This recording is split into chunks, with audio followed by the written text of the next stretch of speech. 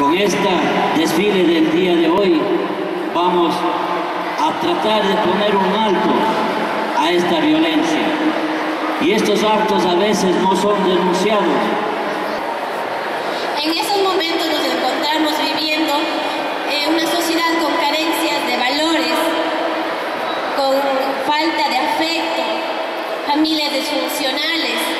Toda esta problemática afecta a nuestros niños, niñas y adolescentes en su desarrollo cognitivo, social y afectivo, porque pueden ser vulnerables y estar viviendo situaciones de discriminación, maltrato, violencia, exclusión social y estudiantil. En base a esta problemática basada, el Ministerio de Educación, el Distrito de Educación 01 de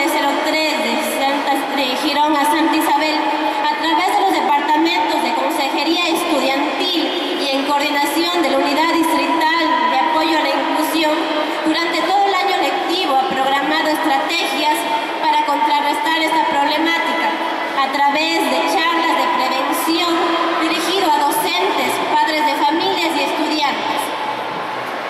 Pero no solamente es necesario eso, también es necesario promocionar estos tipos de eventos a la comunidad en general para contrarrestar el abuso, la violencia, la exclusión social y escolar. En esta mañana les invito a todos ustedes a decir alto a la violencia, no más violencia, no más al acoso escolar y social. Tú tienes el poder.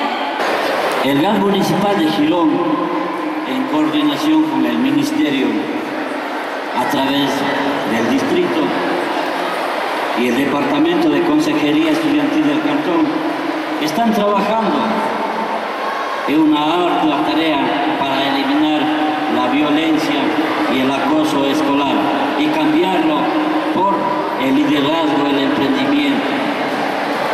Y ahí lo desencadenándose en nuevos tipos de violencia escolar, como es el bullying. Ese término bullying viene del vocablo británico verbo to bullying, que significa tiranizar, intimidar, es decir, un hostigamiento psicológico en espacios escolares. Este fenómeno cada día ha tomado más cuerpo en las escuelas de nuestro país y en el mundo entero, en donde conductas como las agresiones, intimidaciones, burlas, acosos e insultos son más frecuentes entre estudiantes.